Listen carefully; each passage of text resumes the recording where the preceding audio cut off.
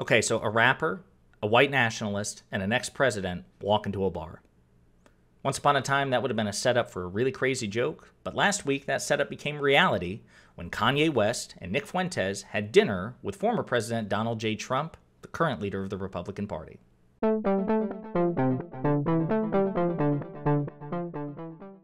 I don't know, guys. Just when you think that Donald Trump has jumped the shark, he finds something else to do that he hasn't done before, which is crazy and ill advised politically.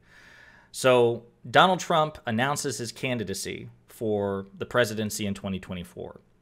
And then a week later, he has dinner with Kanye West, who is in the middle of a very public psychological breakdown or doing a hell of an impression of somebody who is.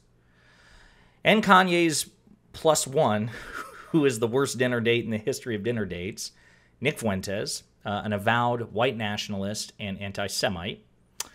And somehow they make it through Secret Service and all of Trump's political advisors and have dinner with the big guy.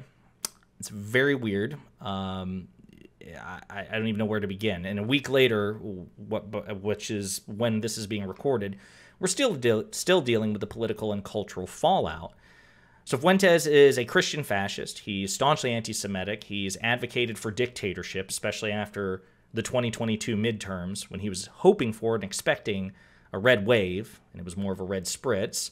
Uh, he was dismayed, and he said that this is exactly why we should have a dictatorship, because democracy is inconvenient for him and his unpopular beliefs.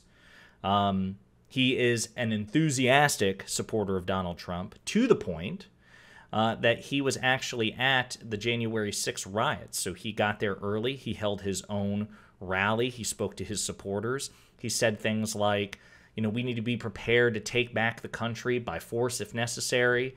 He said shit like, the founding fathers would join us um, in in you know in this effort if they were here. Um, doubt it, but I mean just absolutely insane things, and yeah, that's that's the level of his dedication with Donald Trump or to Donald Trump. Now, what's interesting is Kanye West has since announced his own candidacy for president. Uh, as a matter of fact, apparently one of the things they wanted to do there was Kanye wanted to pitch the idea that Trump join him, join Kanye's ticket as Kanye's vice president. Now, I don't know Kanye, obviously, and I don't follow Kanye uh, because number one, uh, I didn't watch Keeping Up with the Kardashians, so that wasn't my wheelhouse in terms of pop culture. Uh, I recognize that Kanye is obviously a brilliant musical artist, but uh, hip hop is not, you know, it's not my preferred genre of music, as you can see from the Def Leppard poster right there and the Journey one above it. Um, so my understanding of Kanye comes purely from headlines and like social media and memes. So I know just enough about Kanye to know that he has been in serious mental decline for some time, or again, doing a hell of an impression of somebody who is.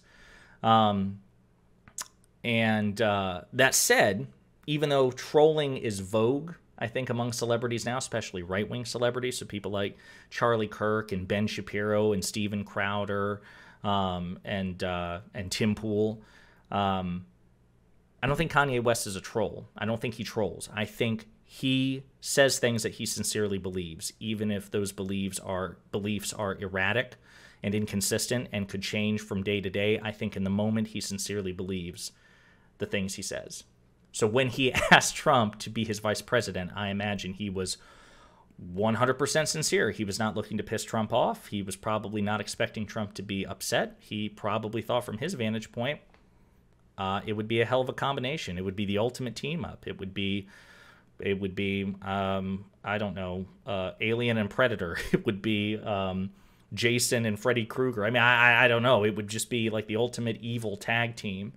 Um, of course, Trump, the ultimate malignant narcissist, was pissed and thought it was insulting and disrespectful and and all these things. But anyway, the bigger issue was the fact that Donald Trump, an ex-president with a robust staff and security apparatus. I mean, my God, he's surrounded by Secret Service who have to do like background checks on anybody who wants to get within, you know, earshot of a former president.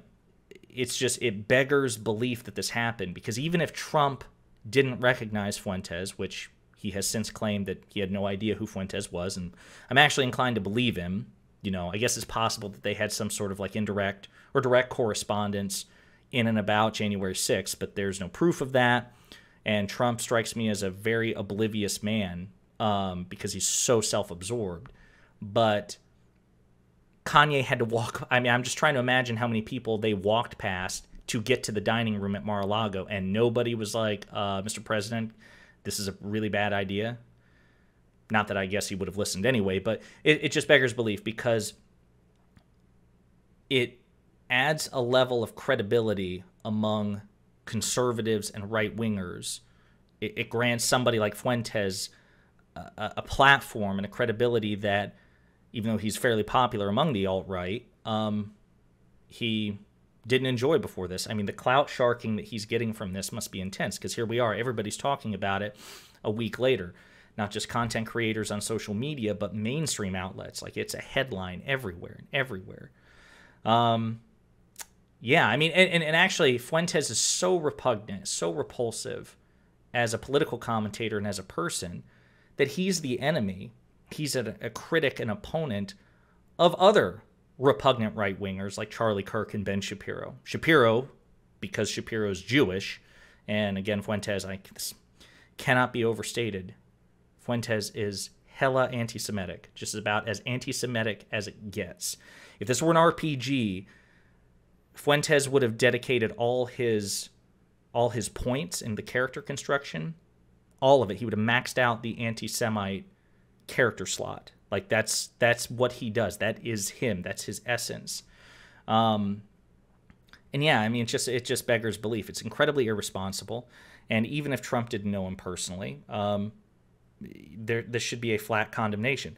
Which, by the way, though Trump has made excuses, I, I didn't know who Fuentes was. I, I, still don't know much about him other than what people have told me. He didn't express any anti-Semitism when we ate McDonald's or whatever the hell that they ate.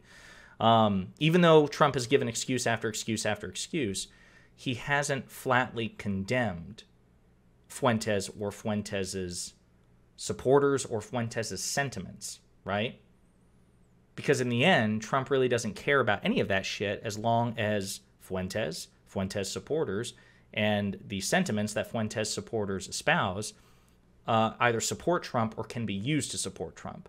That's all he cares about in the end. So he has not condemned Fuentes. Um, now, it, it's interesting because some Republicans have come out and, in their own way, uh, condemn this dinner. I mean, obviously, never Trumpers, people like Senator Mitt Romney, Congresswoman Liz Cheney, Congressman Adam Kinzinger, people who are on Trump's shit list politically, uh, have come out and explicitly condemned Fuentes, condemned the dinner, and most importantly, condemned Trump for having the dinner in the first place and platforming someone like Fuentes, in addition to all the other stuff that Trump has done his entire life. Now, Republicans who are still looking to have a political career in Republican politics, people like uh, Senator Capito, uh, Shelley Capito, I think, Senator Capito, Senator Bill Cassidy, Lindsey Graham, Susan Collins. Susan Collins, who famously said after Trump's Ukraine impeachment, I think he's learned his lesson. The enlightened centrist uh, Susan Collins, who doesn't have, you know, the, the fortitude to follow through with her convictions, they've gently condemned the act too. Oh, this is a really bad idea. You know, there's no place for anti Semitism in the Republican Party, although you could easily argue that that is the single greatest nexus of anti Semitism in the United States is within the Republican Party. Republicans don't want to confront that, but it's true.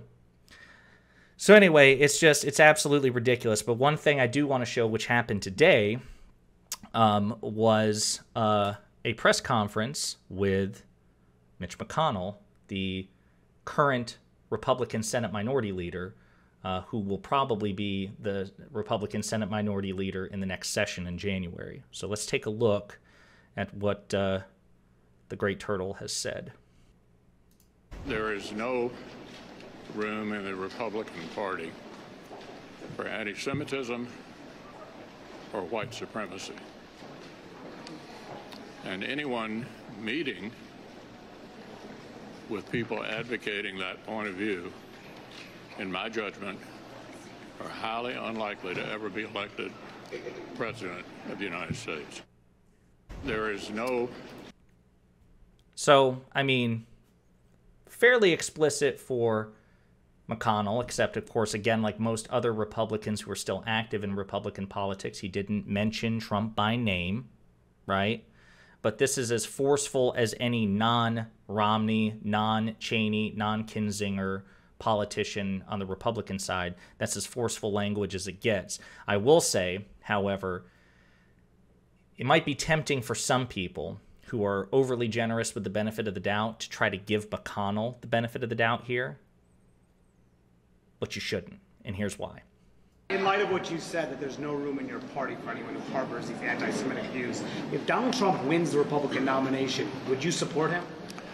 Look, let me just say again there is simply no room in the Republican Party for anti Semitism or white supremacy.